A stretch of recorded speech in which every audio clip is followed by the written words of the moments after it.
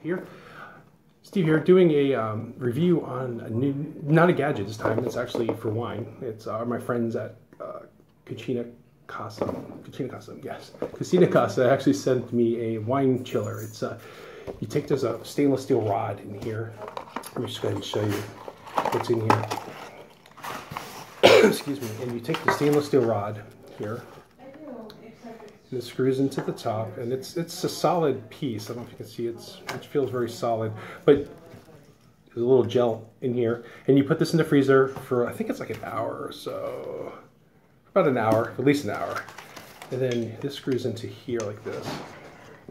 Yeah, what do I do with that? And then it goes into this becomes your wine topper, and this goes into the bottle of wine, and it cools the wine from the inside, and makes it drinkable. Now the only thing is, I'm gonna demo this here in a little bit. I'm gonna put this in the freezer, but you do have to do is uh, to pour out just a little bit of the wine before you put this in, otherwise it will overflow.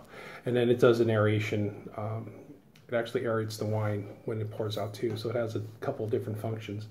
So I'm gonna go ahead and put this in the freezer. I got a bottle of white that I will crack open here once this is in the freezer, and then we'll come back. Thanks for watching.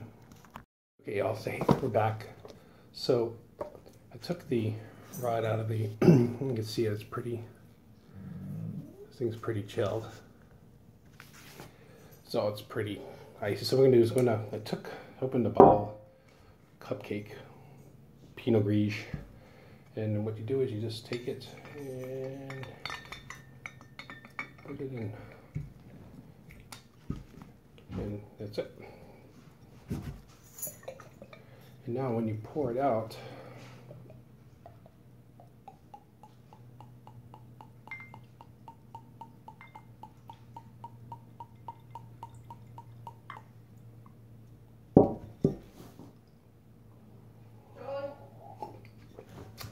It is cool and aerated.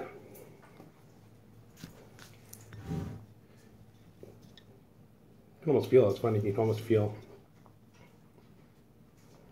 from the inside. So this is a very cool product. I won't spill it, but this is the aerating piece inside of it.